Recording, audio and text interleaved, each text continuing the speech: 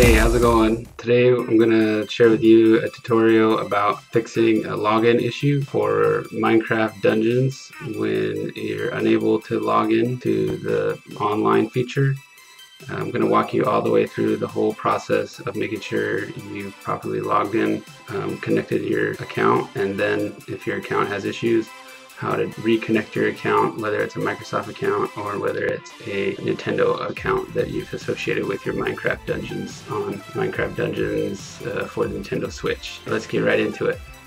So let's jump into the details of this process. First, here are some screenshots to verify you have covered all your bases before trying to log out. Step 1. Verify you have a solid internet connection. Step 2. Along with a solid internet connection, ensure your battery is charged well enough to connect to the internet. You might get this error if you're not connected to the network, for example, if your battery is low, etc. Step 3. Try to sign in by pressing A for online game on this menu. Next, you might see one of the following errors provided by the Minecraft Dungeons game. You may have seen one of these errors.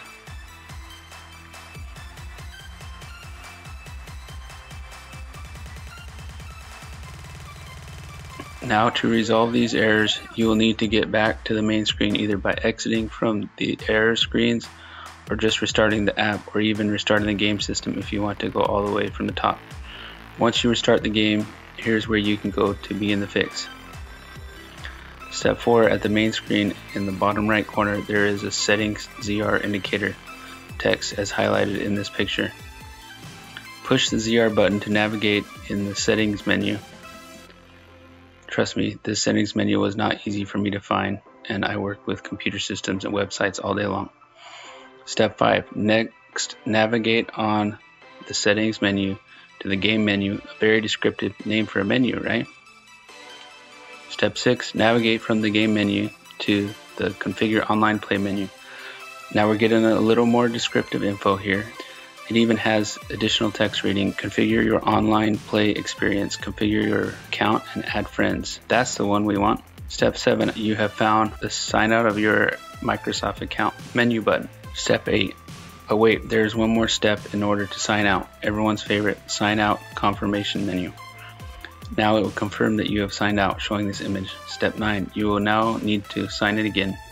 First go back to the main menu, try to sign in by pressing a for online game on this menu. After pressing the online game A button, you will get the Microsoft account required pop-up. Step 10, follow the instructions for reassociating your account with your Switch. You should see this code to link your account. Please follow the instructions exactly as they outline so you can avoid more account issues. If the fix worked, you should be logged back in.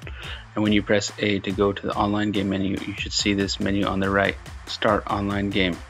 This indicates you are connected and you can begin your online game. One additional thing to note, if for some reason the game asks you to re-log in with your Nintendo account and not just with your Microsoft account, then you will need to sign in with your Nintendo account. Here the game asks you to sign in to your Nintendo account again. You can sign in with your password or with a smart device or with your Google account or Facebook account, etc.